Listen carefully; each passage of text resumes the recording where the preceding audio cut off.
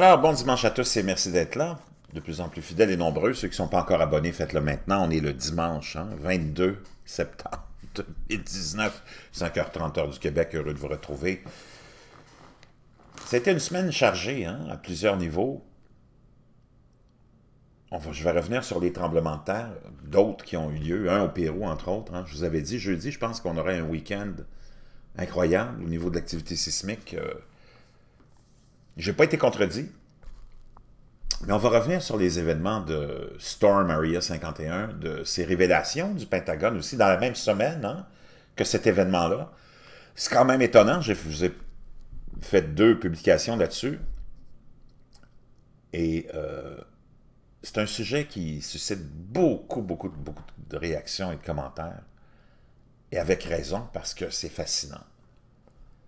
Et plus on va et on le voit, hein, les, euh,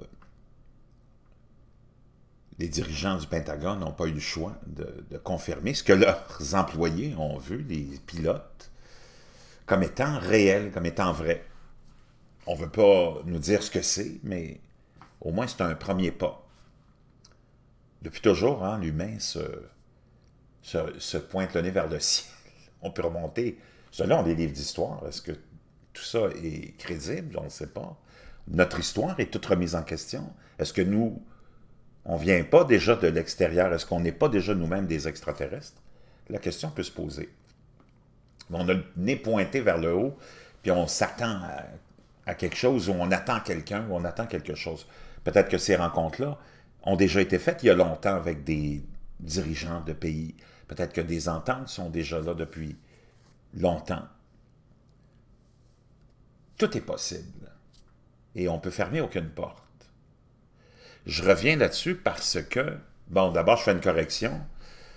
Il y a, je pense que c'est Michel qui m'a envoyé le message, ou Guy, que je salue, un compatriote québécois, qui me dit qu'il y avait 300 personnes. J'avais fait une publication, je disais, je pense, je racontais, moi, ce que les faits étaient dans un article qui parlait d'une centaine, je pense, mais il y avait 300 personnes à cet événement hein, qu'on a annulé de Storm Area 51, quand on a vu que c'était devenu trop sérieux, celui qui a créé la page Facebook a dit aux gens, non, c'est juste une blague.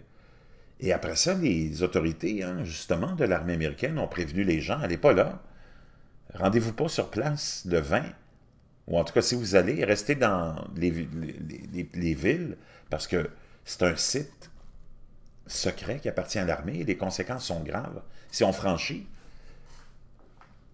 euh, ces clôtures. Donc, il y a quand même 300 personnes qui ont décidé d'y aller. Et la même semaine, on nous annonce que le Pentagone reconnaît que ces, euh, ces incidents-là, racontés par ces pilotes, sont vrais. Mais qu'on ne sait pas ce que c'est. On appelle ça maintenant des phénomènes, comment y a, aériens, des phénomènes aériens inexpliqués? Donc là, j'ai reçu plein, plein, plein de messages, plein de liens sur plein de nouvelles. Puis on va en voir, euh, on va en voir une, ou deux. Ça nous vient du Nouvel Ordre mondial qui nous dit qu'une base souterraine de la zone 51 a été repérée sur Google Maps. Une nouvelle base souterraine dans la zone 51 a été repérée sur Google Maps. Une nouvelle base, hein, selon un, théoricien du complot. Une nouvelle base... Euh, utilisée par le gouvernement américain pour stocker des ovnis a été découverte sur Google Maps. J'ouvre une parenthèse en vous disant que probablement que ces formes de vie-là existent ailleurs et qu'elles sont déjà entrées en contact avec certains dirigeants probablement. Hein, on, nous, on nous dépeint toujours cette invasion comme une espèce de... C'est presque digne des, euh, des bandes dessinées. Hein? Tu aurais euh, une immense soucoupe volante qui arrive et qui vient envahir la Terre, et tous les chefs d'État se réunissent, se donnent la main pour euh, défendre l'humanité, défendre la Terre contre une invasion. Euh, c'est toujours assez enfantin. Je pense pas que ça va se passer comme ça. Je pense pas que ça soit passé comme ça non plus. Puis je pense plutôt qu'il y a déjà eu des contacts établis depuis longtemps avec déjà certaines civilisation même lointaine, parce que probablement on est des cousins, parce que nous autres, même on vient d'ailleurs. Mais ça, c'est même pas important. Donc, les contacts ont été déjà établis avec certains dirigeants. Par exemple, euh, de la Mésopotamie il y a longtemps, puis après ça, avec peut-être d'autres.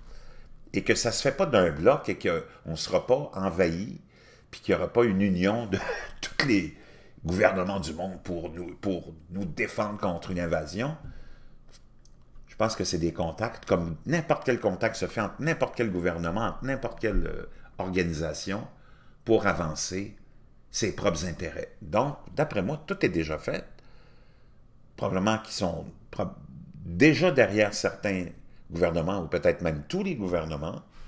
Mais enfin, il faut arrêter de dépeindre toujours cette invasion qui viendra, et tous les conspirationnistes, en platistes, entre autres, entre autres qui, qui, euh, qui nient les autres planètes et qui nient euh, naturellement aussi les autres, la vie euh, extérieure, nous annoncent toujours qu'on prépare une invasion et que on va nous donner ça, puis que ce sera, ce sera une invasion extraterrestre et que les, les pays viendront pour euh, se lever pour défendre la Terre et l'humanité. C'est tellement... Euh, honnêtement, c'est débilitant un peu. C'est pas comme ça que ça s'est passé, c'est pas comme ça que ça va se passer. C'est probablement déjà passé, tous ces contacts-là, hein, des contacts euh, qui sont établis avec des liens bien, bien développés, bien définis, dans un libre-échange intergalactique probablement. Ils viennent ici parce qu'ils ont besoin de quelque chose, puis nous autres, naturellement, nos dirigeants, ben, ont quelque chose en retour. Donc, il y a cet homme-là qui dit qu'il a trouvé dans la zone 51 une base souterraine nouvellement construite, qui semble être ça. Mais pourquoi, ce le gouvernement américain aurait-il besoin d'une base souterraine là-bas? Donc, c'est un échange qui y a entre euh, ce conspirationniste et quelqu'un d'autre. Donc, il dit, moi, je n'utilise pas euh, Google Maps parce qu'il bloque beaucoup de choses. Hein? Regardez cette installation, c'est vraiment incroyable. Euh, c'est près d'une ferme pour une raison quelconque, et je suis sûr qu'elle se trouve sur des terres privées du gouvernement. Vous pouvez voir ce qu'ils euh, qu'ils ont construit ou enterré ces choses très profondément sous la base. Ce serait l'endroit idéal pour l'arrivée et le départ des ovnis. Il est très possible qu'une autre zone s'ouvre.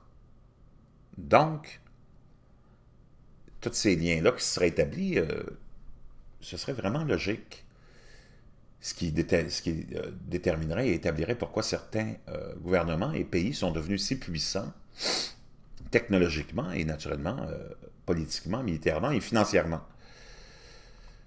Donc, lui, il prétend avoir découvert ça sur Google Maps. Il y a une vidéo là-dedans, je vous laisserai le lien.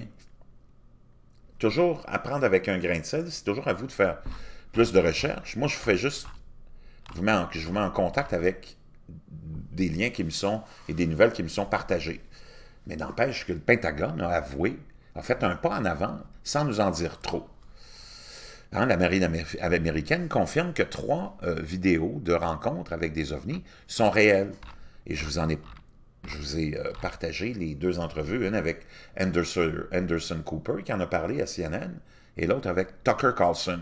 Donc, on confirme que tout ça est vrai. Et on appelle ça des phénomènes aériens non identifiés maintenant.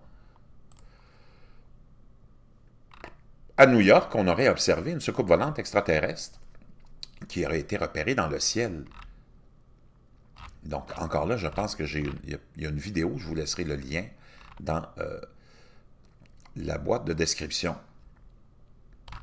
Donc, on en voit de plus en plus de ces euh, témoignages de gens qui disent avoir vu quelque chose. Naturellement, avec les téléphones portables que tout le monde euh, possède, c'est facile de pouvoir capter ou filmer ou photographier ce qu'on voit instantanément, ce, qui n'était pas le cas il y a 40, 50, 30 ans, même il y a 20 ans.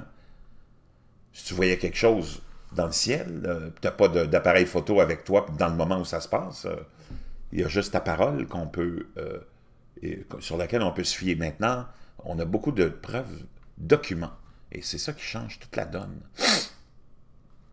Donc, vraiment intéressant, ça soulève beaucoup, beaucoup de questions. Je vais en parler de plus en plus. Envoyez-moi de plus en plus de liens parce que je pense que c'est important. Mais c'est aussi... Pardon, pardon, les allergies, hein? C'est aussi important de comprendre que faut sortir de ces stéréotype, tellement bébé lala, tellement gaga. C'est pas mal plus complexe, puis c'est pas mal plus euh, sophistiqué hein, que juste cette grosse invasion qui vient de l'espace et nos gouvernements se lèvent comme des sauveurs pour... Euh, ça, c'est toute la bullshit euh, cinématographique et hollywoodienne hein, qui nous conditionne à ça, mais il faut sortir de cette idée-là. C'est probablement déjà fait, les contacts sont faits, secrets. Parce que si vous êtes, vous venez d'une galaxie lointaine et vous arrivez dans notre galaxie et vous vous pointez sur Terre puis vous analysez tout ça avec votre technologie, c'est certain que tu t'en vas pas parler au premier quêteux puis au premier euh, passant puis au premier sans-abri que tu rencontres tu t'en vas directement établir des contacts avec les plus gros, les puissants. Parce que tu t'en viens ici avec un intérêt bien déterminé.